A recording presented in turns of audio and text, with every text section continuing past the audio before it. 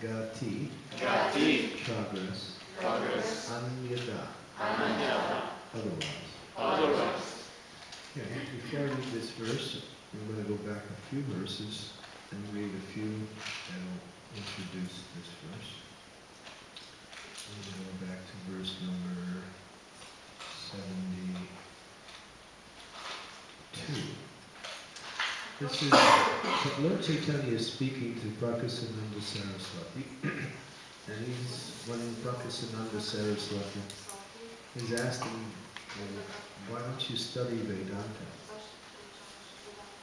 He responds. He said, my spiritual master said, here's the word, you are a fool. Said, you are not qualified to study Vedanta philosophy, therefore you must always chant the holy name of Krishna. This is the essence of all mantras.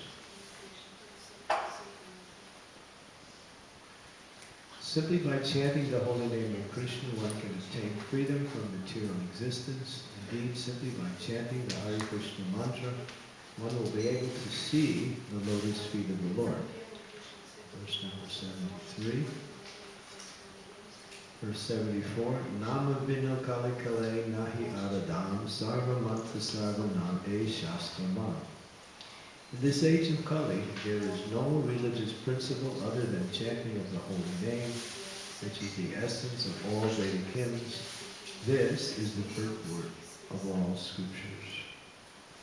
Verse 75, E bhakta e sloka sikai lamore, After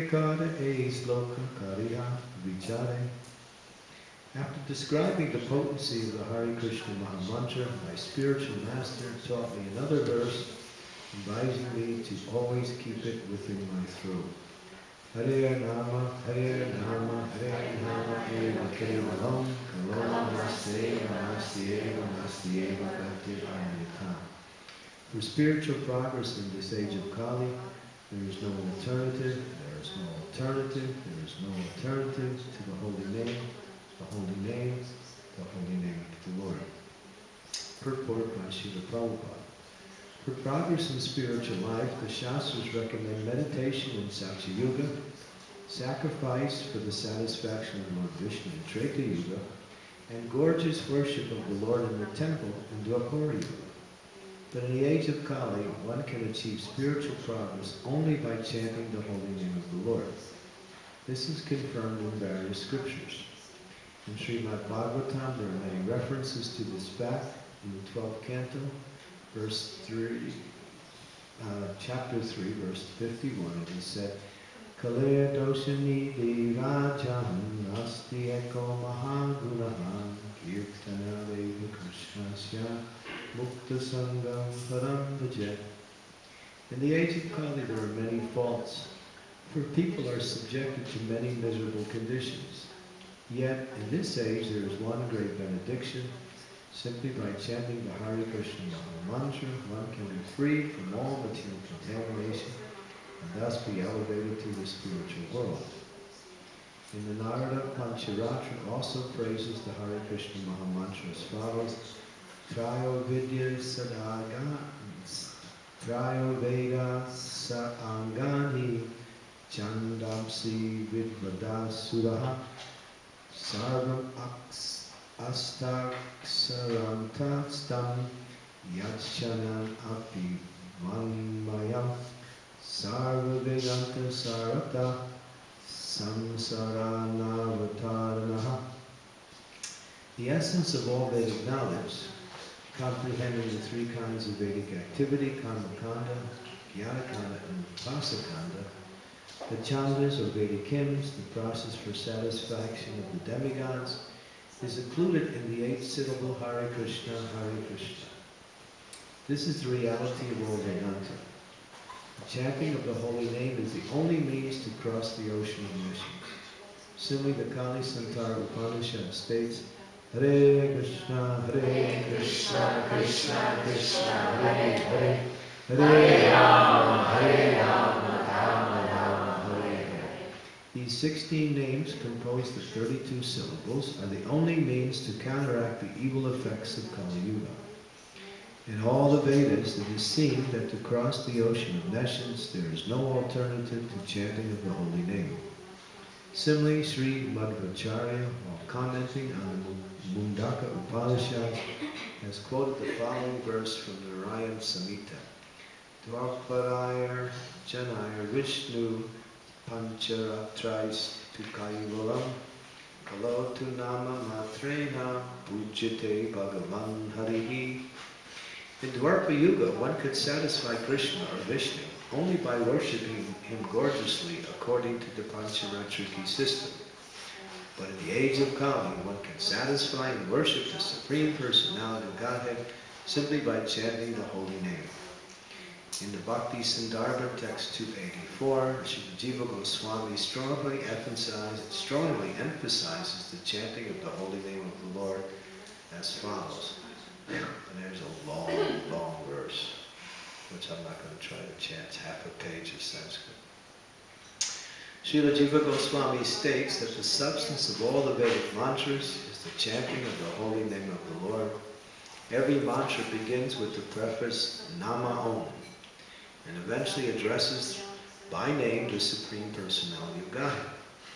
But the supreme will of the Lord by the supreme will of the Lord, there is a specific potency in each and every mantra chanted by the great sages like Narada Muni and other rishis. Chanting the holy name of the Lord immediately renovates the transcendental, yeah, renovates the transcendental relationship of the living being with the Supreme Lord. The word renovates is used to renew it or bring it back. To chant the holy name of the Lord, one need not depend upon other paraphernalia. One can immediately get all the desired results of linking with the Supreme Personality of Godhead. It is therefore be questioned why there is necessary for initiation or further spiritual activities and devotional service for one who engages in chanting of the holy name of the Lord. The answer is that although it is correct that one who fully engages in chanting the holy name need not depend upon the process of initiation, Generally, a devotee is addicted to many abominable material habits due to material contamination from his previous life. In order to get quick relief from these contaminations, it is required that one engage in the worship of the Lord in the temple. The worship of the deity in the temple is essential to reduce one's restlessness due to the contamination of conditional life. Thus, Narada in his Pancharatriki Vidhi and many other great sages have sometimes stressed that since every conditioned soul has a bodily conception of life aimed at sense gratification, to restrict this sense enjoyment, the rules and regulations for worship of the deity in the temple are essential. Srila Rupa Goswami has described that the holy name of the Lord can be chanted by liberated souls, but almost all the souls we have, but almost all the souls we have to initiate are conditioned. It is advised that one chant the holy name of the Lord without offenses and according to the regulative principles, yet due to their past bad habits, they violate these rules and regulations. Thus, there is the regulative principles for worship of the deity, and these are also simultaneously essential. End of purport. Om Agyantimidandasya Ginajana Salakaya Chaksu Unmilitamyena Tasmai Sri Gurave Namaha Sri Chaitanya Navi Samstapitam Bhutare Swayam Rupa Gadammayam Dadanti Swampadantikam Jai Sri Krishna Chaitanya Prabhu Nityananda Shri Advaita Gadadhar Srivasadi Gaur Bhaktavinda Hare Krishna, Hare Krishna, Krishna Krishna, Hare Hare, Hare Rama, Hare Rama, Rama Rama, Hare Hare. So Prabhupada says if you sit down and try to just chant Hare Krishna, you'll think about sense gratification. Our minds are too restless. That is, that is the quality of the age of this age, Kala. This age is considered Manda Sumanda Matiyo Manya Bhaga Upadritaha. This is from the first canto of Srimad Bhagavatam, when uh, the sages of Naimisharanya had asked Suta Goswami some questions, and he said, what are the qualities what, of the people of the age of Kali? And then he quoted this verse, Kala Sabda Yuge Jasmin Manda Sumanda Matayo Manya Bhagya Upadritaha. In this age, people are quarrelsome, lazy, unlucky, misguided, and always disturbed. Here we go. this, is, this is the age. so, I don't want to make you feel bad. That's the way we are in this age. You know, at the slightest change in situation, we become disturbed and annoyed. It's just the age is very difficult age. And therefore, people are very disqualified spiritually. So, but therefore, Lord Chaitanya has come in this age to make it easy according to the level of qualification. In the age of Satya Yuga, the process for self-realization was Astanga Yoga, or the Eightfold Mystic process. Yama, Niyama, Asana, Pratyahara, Pranayama, Dhyana, Dharana, and Samadhi. The eight steps, they're called the eight angas of bhakti, or uh, yoga. And yama means things to do, niyama means things you avoid. Asana, we all know that, hatha yoga. Uh, meditation or purification of one's existence, drilling the respiration through various forms of uh, um, what they call pranayama, you know, doing breathing exercises along with the asanas, and then fixing the mind on the tip of the nose and keeping one pointed attention and meditating on the Lord within the heart. And as that increases, it goes through different stages and finally reaches the stage of samadhi. Okay, you got it. Go for it. so that was in the age of the Satya Yuga. And people were qualified. They lived very long. The average lifespan was between 60,000 and 100,000 years. So you can think, how can a material body live that long? Well, it can't. It's just that we're in this age of Kali. It's like how to understand, you know, what it's like in heaven when you're here. You have to be there to really understand what it's like. So our perception maybe is a little bit beyond the level of our existence, but that's all. We can't understand the quality of people in the age of Satya Yuga. Of Valmiki Muni, he meditated, meditated for 60,000 years, and then later wrote the Ramayana. So 60,000 years of meditation. Wow. And we, we, if we can do 60 minutes, that would be So you can see the difference of the people, you know, we're just trying to make some comparison just to show how qualified people were in that age. And most people were on the highest spiritual platform. Many people were Paramahansas. They had the highest spiritual understanding. The environment was perfect. It rained only according to the season and only according to the time when rain was needed. Um, everything was provided by nature. Nature worked completely under the control of the Lord. So there was no anomalies. There was no difficulties. Everything was working nicely. And there people were happy and people were spiritually inclined. So therefore, in that age, although people knew about the Hare Krishna Mahamantra, they didn't practice it as a means for self-realization because it was too easy. It just was too easy. So this Astanga meditation program was the means for self-realization. In that age, and that was taught by Kapila Dev. He mentions that in the, in the Srimad Bhagavatam. The, uh, Kapila Dev was the incarnation of the age of Satya, uh, Satya Yuga. So that's considered the golden age. And if you study a little bit more about it, you can find Everything was ideal spiritually and materially. Prabhupada said 99.9% .9 of the population was Krishna conscious. But being in the material world, things change.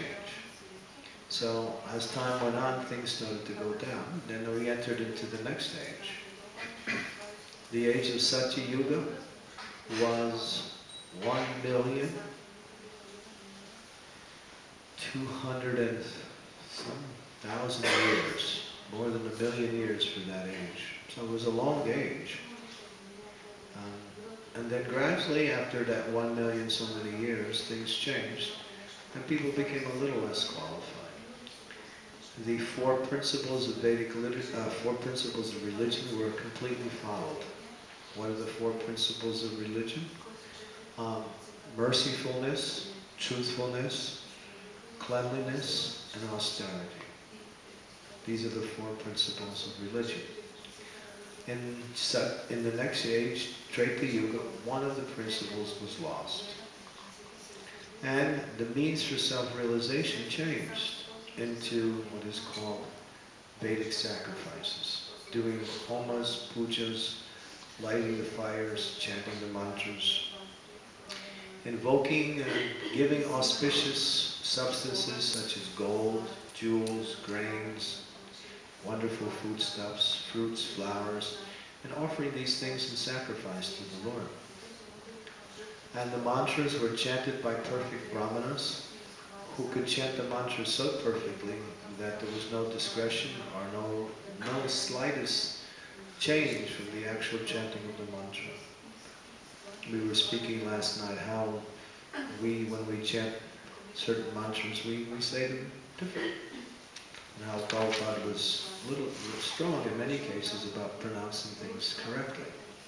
Because if you make a little pronunciation mistake in chanting the Maha Mantra, the whole sacrifice is wrong. The whole thing is gone.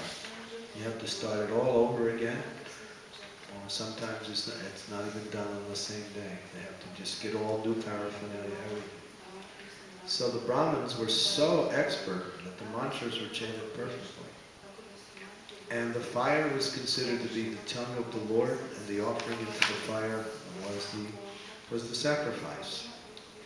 And in that age, um, these costly homas, very costly. People were quite wealthy by nature's arrangement, and everyone could perform these sacrifices. And that was the means for self-realization in that age. We still do these sacrifices, but there are so many discrepancies in our procedure, and we don't actually do them according to the entire Vedic, what we say, understanding of how to do them.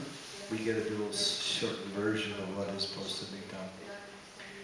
But still we do them for, sac for initiations, for marriages, for uh, what else? Sometimes we do them to bring about auspiciousness and performance of some yagyas or something, opening temples, like that. So, no one can do those in this age either. The Brahmanas are not qualified to chant the mantras in this age, and the paraphernalia needed for the sacrifice is not available. And so that was Treta Yuga. And that went on for, yeah, that was over one million years also. 432,000 times 3 is yeah, 1,200 something.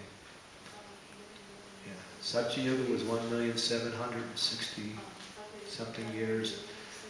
Treta Yuga was 1,200, 300 years. And then we came to the next stage. Another religious principle was lost. There was only two left. And then we came to the age of Dwapara Yuga, where people were very proud of whatever they had. They were qualified in so many ways. You read about the Mahabharata, a lot of that speaks about the age of Dwapara Yuga, how there was so much pride and chivalry, pride in one's bodily, you know, strength or beauty, education. There was a lot of pride that, in that age. And people had those qualities. And the means for self-realization changed.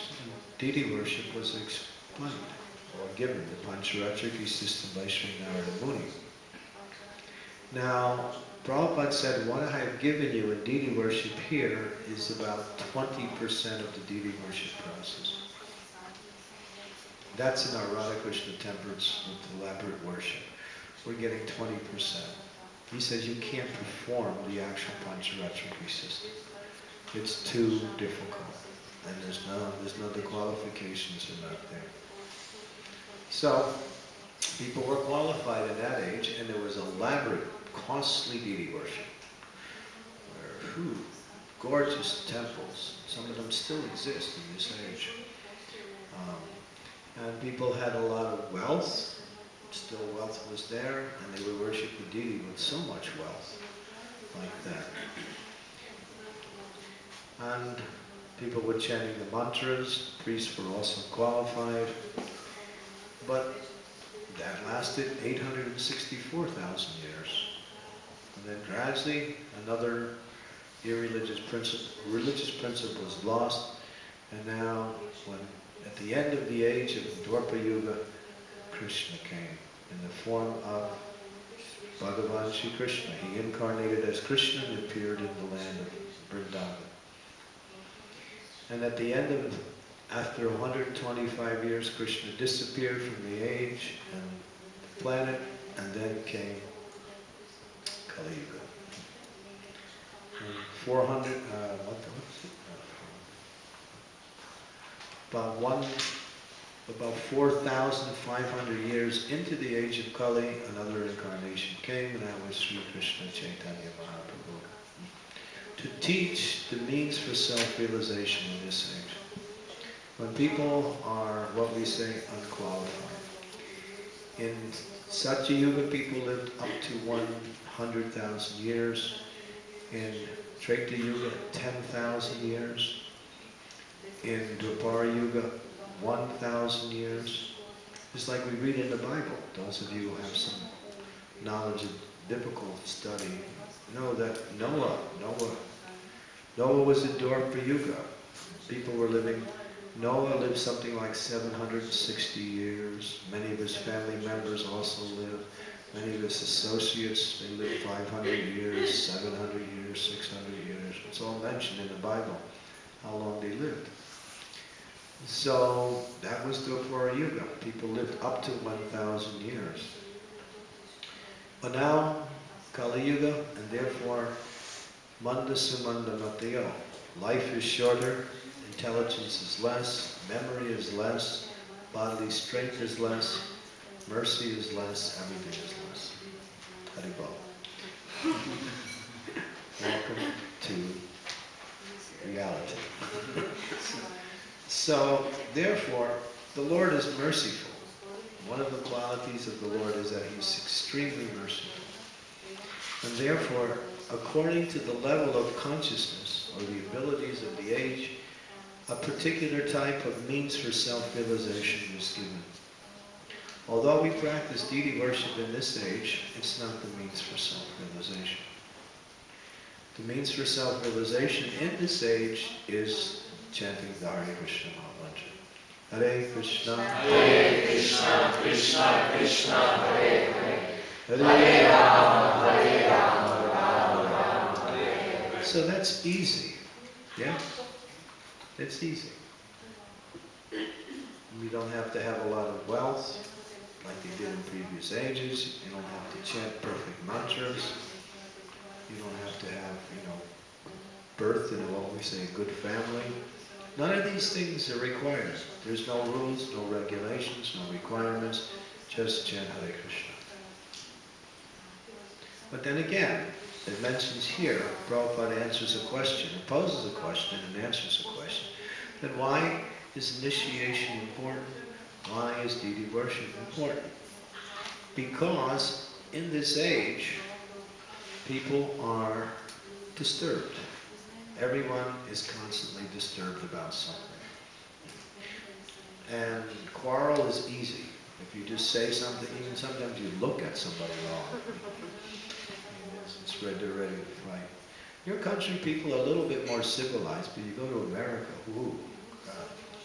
It's like I was riding in the car with Vlado, and we were trying to get here. We were a little late, so I said, you know, take this other go in front of all these other cars and just come around like that, you know, just getting ahead of everybody. So he hesitated, but I was persistent, and finally he did it. And he went, and got ahead of this big line. So we just went there, and we were in the line, and we went first. Now, if you would have did that in America, you just have to sit low on your seat. Somebody might have put a shotgun. it's like there was a thing on television called road rage, where people were, you know, shooting each other from cars because people didn't like the other way people were driving. It was actually a newscast. People were so disturbed. And it's like that. There was actually one story where one time, one Indian man who came to America, he didn't know much about American culture, and he was he was driving, and he, you know, the man in front of him was stopped at the red light, and he was behind him in the car, and so the man didn't go when the light changed green. So he started beeping his horn. Beep, beep, beep, beep, beep, beep, beep, beep, you know, like we do in India. The horn is like the ultimate essential principle of cars. And so the man got out, turned around, brought a gun and shot him. He killed him right on the spot because he was disturbed because he was beeping his horn at him. So, you know, it's like that in some places that people are so living on the edge. I remember, I remember one of us, we were driving at one time and we cut off somebody.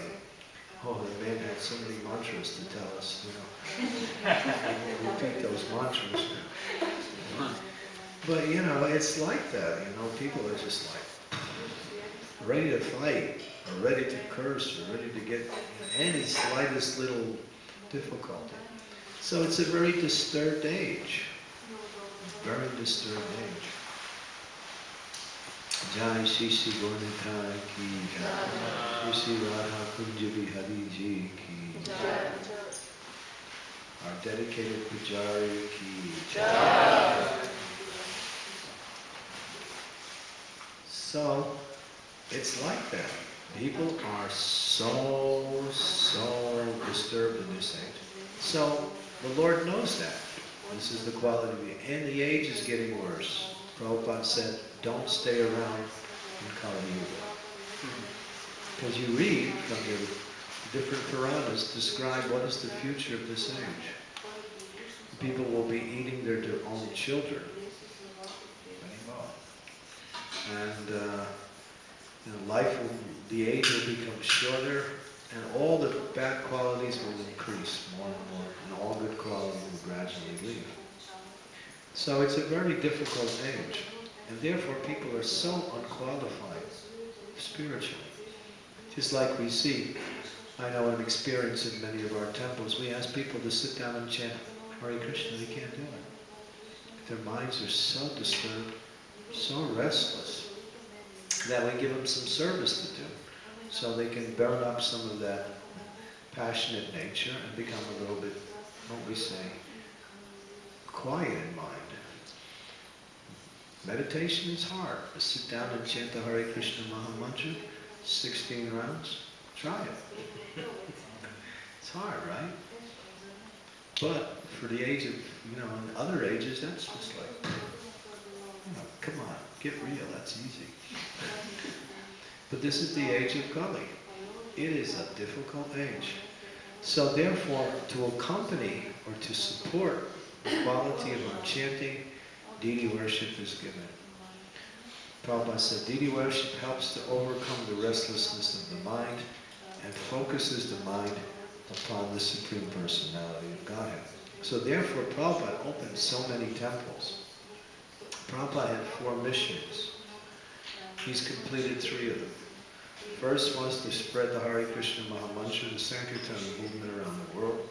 Two was to open temples everywhere of Radha and Krishna and other deities like Lord Nitai and Sri Ram, Jagannath.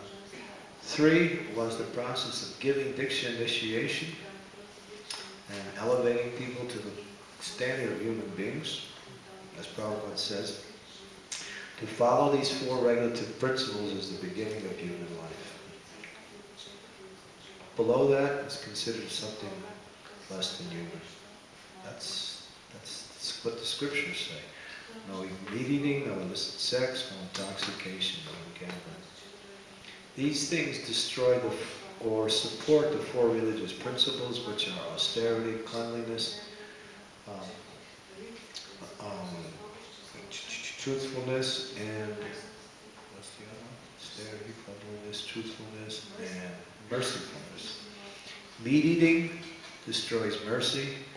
Illicit sex destroys cleanliness. Austerity, intoxication destroys austerity. And gambling is destroyed by lying, cheating, frivolousness. Truthfulness is destroyed by gambling, trying to get something for nothing. So, therefore, in order to practice spiritual life, Prabhupada made it really easy. Follow these four principles and chant 16 rounds. But we can't do that. Even that's hard. So he gave us deity worship, so many other things to occupy our mind. Why? So we can somehow or other purify our consciousness. And when we sit down and chant the Hare Krishna Mahamantra, we can focus on the sound of Krishna's name. So that's the reason why we do all these other things. We like. Deity worship is nice. It's one of the nine processes of devotional service. And it's a means for we're perfecting one's life. But it's not the Yuga Dharma. It's not the Yuga Dharma. If you, just like one time I went to Germany, I was in Germany, and the, the, uh, the temple president was very concerned. He called me into his room, he said, I have a problem. I said, what is that? He says, we have a wonderful pujari. She is dedicated to the service of puja. She loves to do puja. She dresses the deity so nicely. She puts all her heart in. She even gives some of her own, you know, Lakshmi to help support deity worship. But she won't chant Hare Krishna. So what, what am I going to do? I said, well, she says that, the, that it says in the Shastras that any one of the nine processes are, we read that yesterday in the verse, right? Are, what we say, uh, alone can give one self-realization. But then Prabhupada qualifies after he says that, but in this age one must accompany all the eight with the chanting of the Hare Krishna mantra. So I said that's very nice, how much dedication he has to deity worship. It's very hard to find a pujari like that these days. But at the same time, he should encourage her in one way or another to chant. Otherwise, she won't be able to last in her deity worship because the Lord won't allow it. He'll push her off the altar because she's not purifying her consciousness through the chanting. So both of them go together. And so, and about two weeks later, he came and said she left her, post. Was sad because, you know, all she had to do was chant Hare Krishna. But therefore, um, these other processes are supporting the Yuga Dharma to chant the holy names of the Lord. And when we, and the process is to remember Krishna 24 hours a day. That's what it means to be Krishna conscious. To keep the mind connected to the process of somehow either deity worship or reading the books, somehow or other connect yourself to with Krishna 24 hours a day.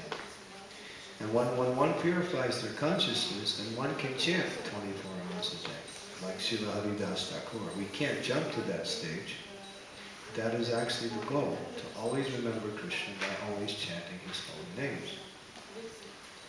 When Prabhupada was asked, are you always chanting Hare Krishna? You know, the devotees in America, they ask Prabhupada everything. It was like, they really put Prabhupada through everything. Asked him every questions, challenged everything he said. But it was good because that brought out all the possible answers that people could use as excuses. And Prabhupada answered every question. So when he was asked, are you always chanting Hare Krishna? He told the person, you come over here and you put your ear on my back. The person did, and he could hear the mantra going on inside Prabhupada. his heart was always chanting. Even though his lips were not moving, inside the chanting was going on. Just like this Kirtan Mela, if you stay with the whole thing for a weekend, you know, when you go to sleep at night, you're chanting Hare Krishna. When you wake up, you're chanting Hare Krishna. And then, you know, it goes on for some days, and then we go back to normal.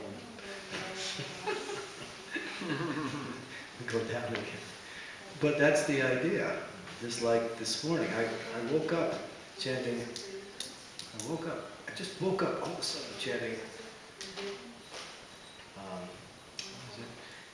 Ayodhya Vasi Ram Am Dasarati Su. Now I forgot it because I'm thinking of Hare Krishna. But I was singing that all morning. Couldn't stop singing and I think I gotta, I have to chant Hare Krishna now. I was singing it the whole morning when I woke up from the time I got out of bed to the time I got to my beads. So, you know, because Dasarat Sutta Prabhu was here, he was chanting that mantra with such feeling and such devotion that it just, when it enters your mind, you just pick it up, you know. Somebody chants the Hare Krishna Maha mantra, I'm sure some of you are, you know, woke up this morning or chanting last night in your sleep. So that's what we want to do. That's what we want. We want that intensity of the remembrance of Krishna 24 hours a day, where it's automatic. It's not that we have to force it. It becomes automatic when we stay in contact with the, with the holy name as much as possible. Because the heart, to chant Hare Krishna is normal. To glorify the Lord is normal. That's the normal business or natural business of the soul. So the soul is always doing that, but the mind gets in the way. So we have to bring the mind in connection with the process, the activities of the soul.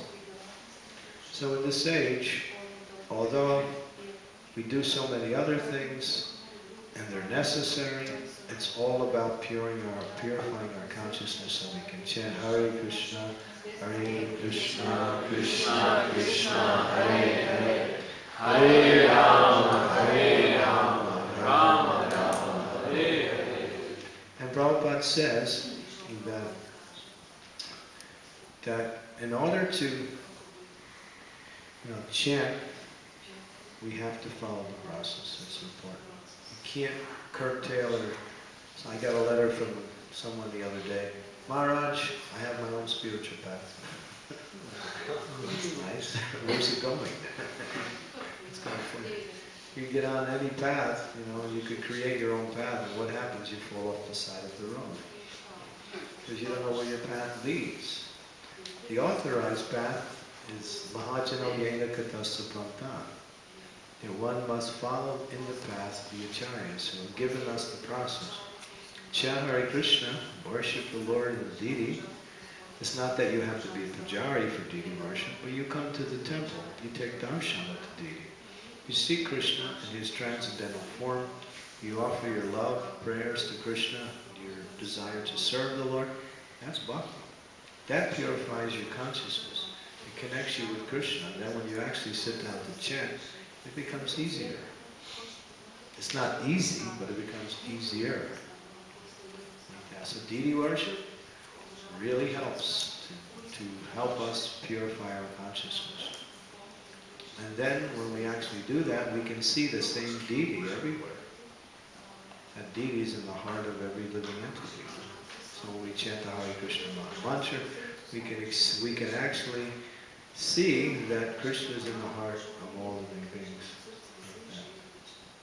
We read the books, we talk about the philosophy, we hear about the glories of the Lord's wonderful pastimes, in Vrindavan, Navadweep, Jagannath Puri, so many wonderful pastimes, Rameshwaram. It all, it's all about connecting us up with Krishna, but the goal is ultimately, the, the goal is to always chant Hare Krishna 24 hours a day. That's the goal. So keep that goal in mind. And practice these other processes, but practice chanting Hare Krishna as much as you can. Prabhupada said, don't leave the mind vacant, but you know, the mind likes to think about things, complain about things, and dwell upon things, and this is just fill your mind with the Hare Krishna Maha Mantra all day. And I guarantee you, you'll get everything else done. It's not, if I think of Krishna, how will I be able to do anything else? Question, right? But actually, Krishna carries out. Just like that little, little simple thing this morning, you know. I was chanting the holy name, and I had to go back into the, the restroom, the bathroom. So the floor is all wet.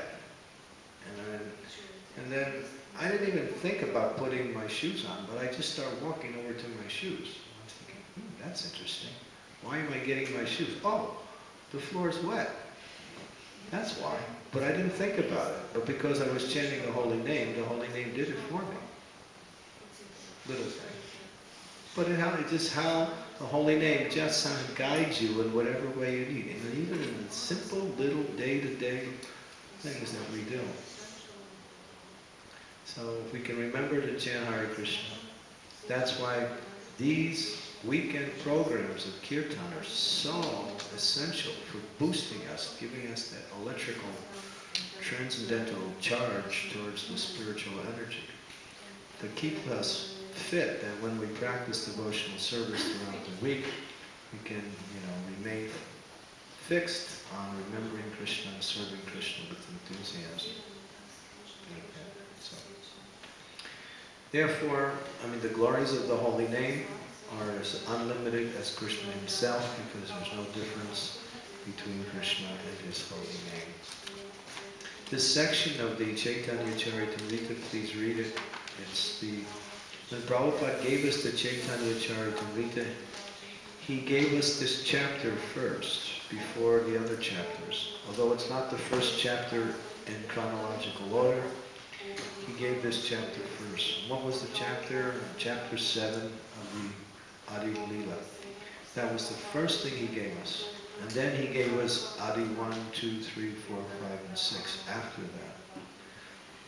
Because this is all, the whole chapter is the glories of the holy name, the glories of Kirtan. Verse after verse after verse after verse. We just read, actually the devotees printed a separate book just on this chapter alone. It's called The Five Features of Lord Chaitanya. It's about the Panchatattva, and it's about this chapter. So this chapter was actually given special recognition by Prabhupada. A separate book was, was authored just on this chapter. So if you please take time, it's all about the glories of the Holy Name. Okay, any questions, comments on anything?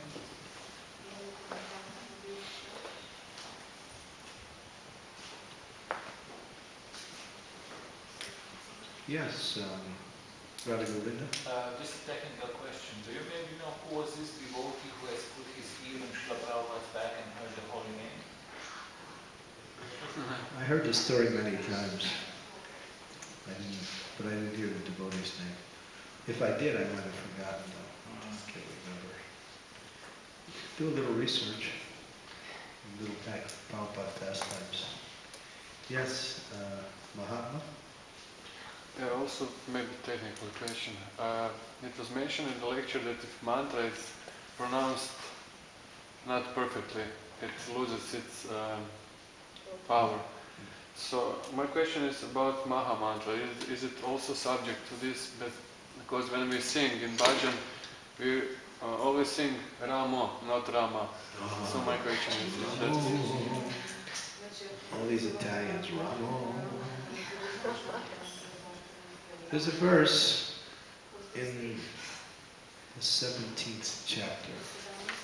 Uh, I can give me time. Prabhupada talks about how to chant the Maha Mantra. It's in the verse of the 17th chapter of Adi Lila. He says, pronounce the mantra clearly, avoiding, using the upper and lower lips, avoiding the hissing sound. Krish, Hare Krish, Hare Krish, Krish.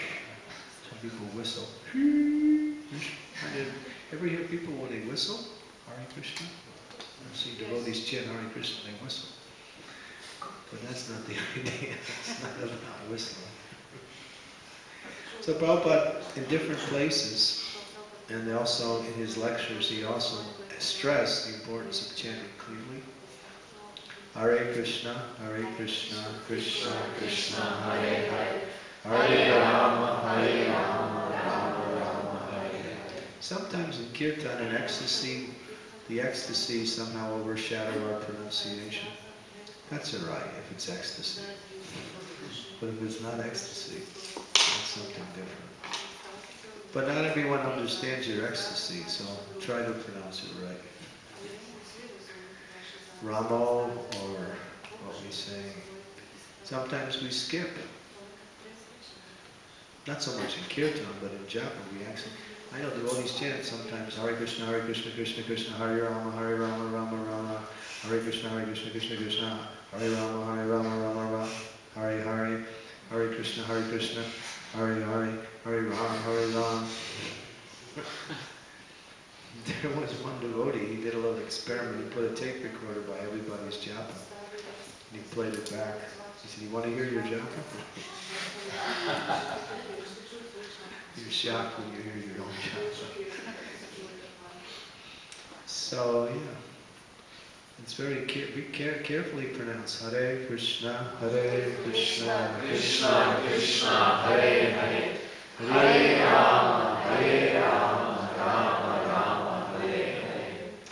You begin, just like in Prabhupada's japa tape, in teaching japa, he, he slowly starts, just like we just did.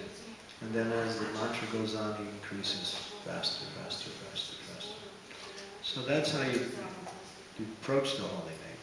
Catch the mind, catch the sound with the mind, and then gradually increase. That's the ideal way of chanting. If you're tired, you can chant a little faster, so you don't, you know, your mind stays connected. But in, in any case, you know, pronunciation is important. Because it helps us to focus our attention. When the mantra is clear, it's easier to, to, to hear the mantra. When it's not so clear, the mind goes other places. Easy. Yes. Maharaj, uh, what is the importance of yagas today? Because in Grihastha life we have many yagas for children, and it is uh, important or not? Yeah. Well, that's why we do it. It has some has some merit, has some value. It's, it's just to purify the atmosphere. But you know, if we could chant purely, we wouldn't need any yajnas. But we can't chant purely. That's why we do yajnas. I'll give you an example. Um, when Prabhupada was about to open the Krishna Balaram temple in uh, Vrindavan, he said, I could have opened that temple simply by doing kirtan. And he established Krishna Balaram in the front, along with Gordon and Radha Shamsundar. But he said, the Brahmins in Vrindavan, they wouldn't accept us as bona fide unless we did yogis. So he did a whole very elaborate costly yoga which was really elaborate, just to uh, show that our movement is, you know, is following at least that principle of performing yajnas, because that's the standard. But if we can chant kirtan, kirtan, wherever you place kirtan, that's the highest form of worship. So you don't need any yajnas, you don't need any initiations, you don't need any deity worship, you don't need anything. All you need is all in for everything. But we can't chant purely. That's the point. So that's why we do all these other things, so we can purify ourselves. So we can eventually come to the state of chanting purely. But we can't even do the yajnas purely. So that's a problem too. So yeah, there's yajnas for initiation, there's yajna for marriages, the yajna for temple openings, there's other yajnas too, so many yajnas. So it helps to purify our consciousness, you know, following certain principles of the Vedas. But we're not on the highest platform, so we have to do all these other things. When you're on the highest platform, you can just channel 24 hours a day. That's the perfect yoga. That's why Prabhupada mentions, in this age of Kali, Yajnai Sankirtana Prayat. It is the yoga of the yoga. In so many purports, I mean so many, when, when the word yoga comes up, Prabhupada talks about yoga and said, but in this age, Sankirtan yoga is the recommended yoga. He'll speak about other yagas and speak about the principle of yoga, and then he'll always end with Janari Krishna. That's the yoga. But, you know, we do all these other yagas because we can't chant purely yet.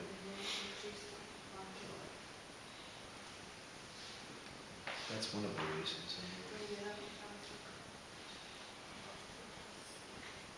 And yogis evoke, evoke auspiciousness too. There's a certain auspiciousness that comes by doing yogis. And people like that.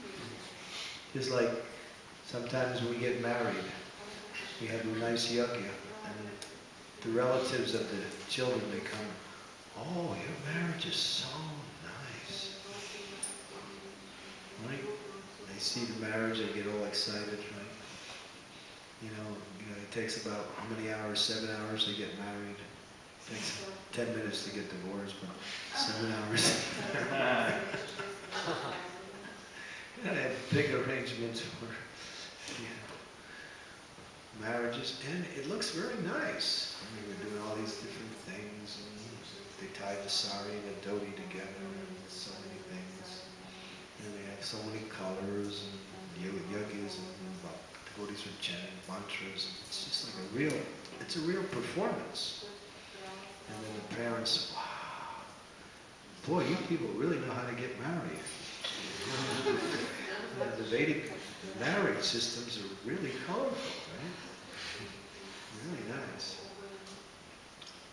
I remember I was at Gita Nagari. maybe you were there. This was in 19, 2000, year 2000, when they had those seven marriages. In the year 2000, seven marriages. So they called in Chaturatma.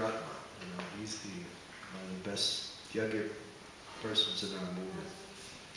And he, he did the whole thing. It was really elaborate. Seven people getting married. All the relatives came from all over the country. There's about 50 relatives. And just, it made them, it made them feel like they're part of something important. You know, you know, and then nowadays you go and you don't even get married nowadays. Right? You go in front of somebody and pay them, what, thirty-five dollars and give you a piece of paper and you're married. Even nowadays, people don't even get married. They just, let's try it out. See what happens. All right. We'll, we'll be friends for a while. After 10 years, if it works, we'll get married. This is Kali Yuga. It's another one of the symptoms of this age. you know. But we do all these night because in the Vedas, every, what we say, stage in life is done in a very elaborate way. It's like even Nanda Maharaj with Krishna and Vrindavan, they did so many yagas. When Krishna was born, there was a yaga. When Krishna was, they gave him a name, it was a yagya. On his first birthday, there was a yagya. There's so many. So yagas are that. And they're important. But ultimately, Sankirtan Yagi is the, is the yagi of all yagas. So Prabhupada gave us all these yagas. They purify the atmosphere. They give auspiciousness also.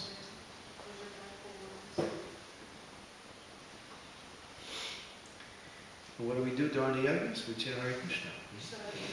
Yes. Right? During the we also chant the holy names. When we finish the yaga, what do we do? We have kirtan. While the yagas are going on, sometimes the devotees are chanting in order to support the,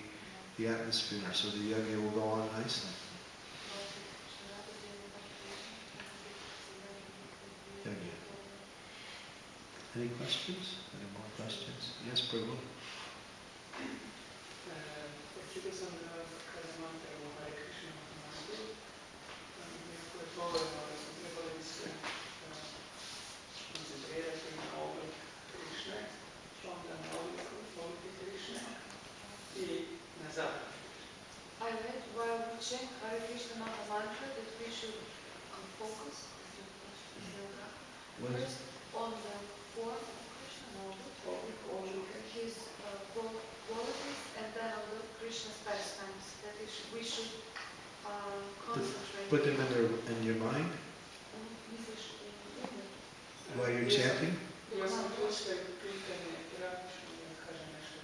Actually, he wanted to ask you a practical question, if you can say some comment on this.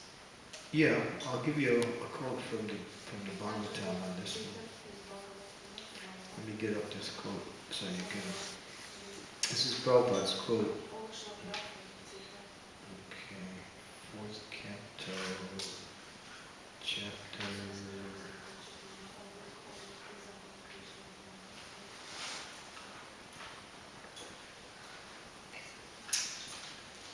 Let's see what verse is it.